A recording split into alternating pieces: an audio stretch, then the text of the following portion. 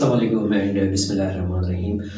Dear students and viewers जैसे कि आपको मालूम है कि हमने ल्यूकीमियाज़ को स्टार्ट किया हुआ है और ल्यूकीमियाज़ में ऑलरेडी हम दो ल्यूकीमियाज़ को पढ़ चुके थे जिसमें से एम नॉट एम वन और एम टू था। Uh, और एक फेयर क्लासिफिकेशन जो है उस पर हमने दो लेक्चर जो है वो लिए हुए थे। आज का टॉपिक जो है वो शॉर्ट सा टॉपिक है। Uh, क्योंकि ऑलरेडी हमने जो है वो स्लाइड में एक लेक्चर तो बनाया हुआ है जिसको हमने एम थ्री का नाम दिया है यानी कि एक्यूट प्रोमानिस्टिक ल्यूकीमिया और एक्यूट प्रोमानिस्टिक ल्यूकीमिया की वीडियो अगर अभी तक किसी ने देखी है तो उसमें इंपॉर्टेंट चीज़ जो थी, वो ये थी कि आपकी जो एम एल एम थ्री यानी प्रो माइलिसिटिक लीकीमिया है, उसके अंदर हाइपर ग्रेनुलेशन होती है। और ये जो हाइपर ग्रेनुलेशन होती है एक्चुअली वो जो ग्रेन्यूल्स है तो जो साइटोप्लाज्म के अंदर जो ग्रेन्यूल्स होते हैं, वो बेसिकली एक दूसरे के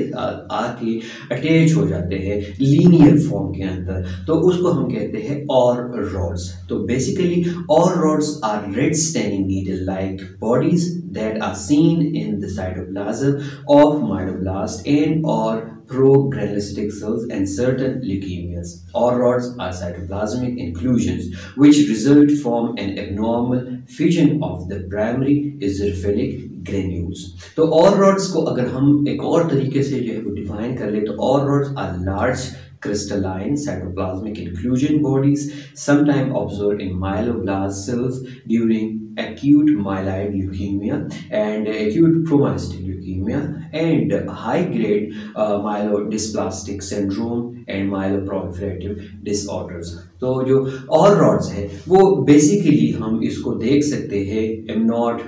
sorry M one M two और एम थ्री के अंदर कुछ माइलोप्लास्टिक माइलोडिसप्लास्टिक सिंड्रोम्स के अंदर माइलोप्रोलिफरेटिव डिसऑर्डर्स के अंदर और बेसिकली ये एक नॉर्मल फ्यूजन है प्राइमरी ग्रेन्यूल्स की या एजरफेलिक ग्रेन्यूल्स की अच्छा अब एक और जो सेल है, उसको हम कहते हैं फैकेट सेल्स या फैकेट बॉडीज ठीक है? तो जो फैकेट सेल्स है, वो बेसिकली हमारे पास ये जितने और रॉड्स होते हैं, अगर एक, दो, तीन जो है वो और रॉड्स मिल जाए, और फिर इसी तरह बहुत सारे और रॉड्स एक दूसरे के साथ एक एकमुलेट हो जाए तो जो सेल हो जाता है, जो सेल होता है प्रोमोन सेल बेसिकली उसको हम फिर कहते हैं कि ये फैगेट सेल बना हुआ है। तो अगर इक्यूमुलेशन ऑफ़ और रॉड्स हो जाए तो उसको हम कहेंगे फैकेट और अगर इक्यूमुलेशन ऑफ़ ग्रेन्यूल्स हो जाए the primary linear abnormal accumulation of granules is known as Auer rod where the fusion of different Auer rods and one cell is known as faggot and when बहुत सारे फैगट sales जब एक दूसरे के साथ accumulate हो जाते हैं, एक क्लस्टर के शेप बना लेते हैं तो उस वक्त हम उसको कहते हैं कि ये फैगट बॉडी बनी हुई है। अच्छा एक और जो यूज़ होता है सेल जिसका नाम है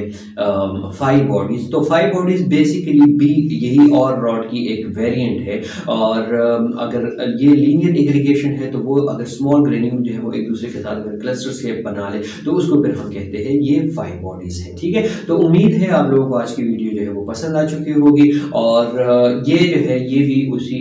एम एल एम थ्री का एक हिस्सा है। तो अभी तक अगर किसी ने चैनल सब्सक्राइब नहीं किया तो काइंडली चैनल को सब्सक्राइब कर ले बेल के आइकन को दबा ले, ताकि नई, हर नई आने वाली वीडियो आपको बर वक्त पहुँच जाए तनवीर दार को इजाज़त दीजिए। अल्लाह हाफिज़। अपना ख्याल रखिएगा थैंक यू वेरी मच